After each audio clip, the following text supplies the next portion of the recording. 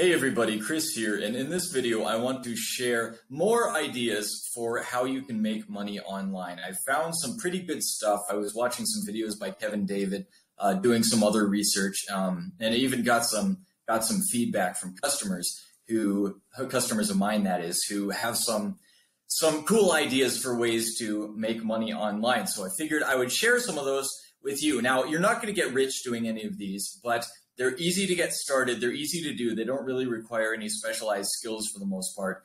And so, if you are interested in becoming a digital nomad, if you're interested in funding your travels around the world and just need to get out of the office, this will make you enough money to do it. You can do uh, one of these, or you can do multiple of these, but they're they're all pretty easy. You'll get paid pretty quick. They don't require building a business, etc. So, if you just want to get out of the office as fast as possible, this is probably a good way to do it.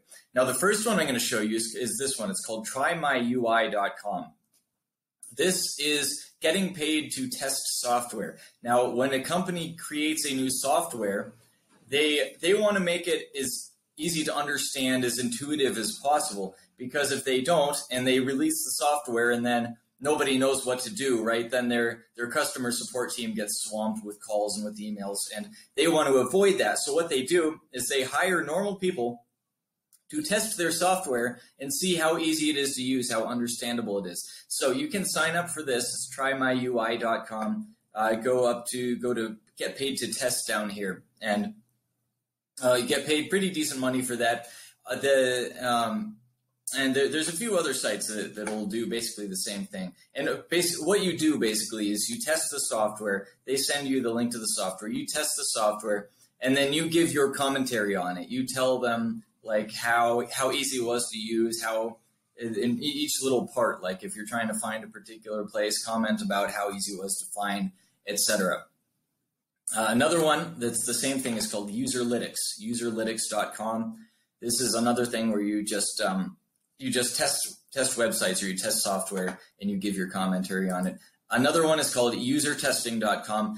Um, again, all three of these do the same thing. Now, the drawback to these is that you do not. Um, it's not. It's not like a full time job. You don't get full time work doing this. They they pay you. Uh, I believe that all all three of these pay you ten dollars per per test, and each test takes about twenty minutes. So if you you know if you do three tests in an hour like each test is 20 minutes you do three tests in an hour you made $30 an hour. But you're not going to get full-time hours doing these. Uh, you're just going to get whatever's available. So i would recommend that you sign up for all three if you're looking to make more money than just you know a few hours here and there. So sign up for all three and then you'll get you'll get uh, more work than if you just signed up for one. And as for what you need to do for it um, not a whole lot. I mean, you just need to be able to speak decent English. You need to have a computer and just go through the go through the um, the videos and, and be helpful. You know, you're trying to help these software developers know what you feel. So comment on every little part of it, right? So pretty easy to get to get paid that way, and they, they pay you to your PayPal. Uh, another another way is customer service. There's a lot of these. You, you've probably seen it before. If you have, there's a lot of chat customer service you can do phone customer service or chat customer service, or sometimes it's even on Facebook Messenger, right? Well, they're hiring, a lot of companies are hiring a lot of people to do this. One big company that's hiring people to do this is called App is Apple. Of course, you know, everybody knows Apple. And um, it's called, uh, the, the position is called at home advisor. So go to apple.com slash jobs slash US. Well, in my in this case U.S. I'm not sure if they hire outside of the U.S. I'd have to check on that. Uh, slash AHA, and um, or you could just find it from the main Apple website. But anyway, so they have a whole bunch of people that they're hiring as at-home advisors. So if you know Apple products, if you're familiar with Apple products and you think you could help other people understand their Apple products when they have questions, then that would be a good fit for you. Another uh, customer service job is, is at arise.com. Um, so just uh, go to arise.com, click the work from home button, see the opportunities they have. Another one is liveworld.com. And again, there, there are a ton of companies that are hiring customer support reps. I'm just giving you a few that look promising to me. So liveworld.com. Um, there you go. So you can, if you're bilingual, uh, you get probably get paid more. but you can be uh, just a regular customer care agent. So um, there you go. This is a work from home position. So, you know, when they say work from home, they mean work from a computer. You don't necessarily have to work from home as long as you have the computer. Sometimes you need a phone line. Then you can work from wherever you want and travel the world.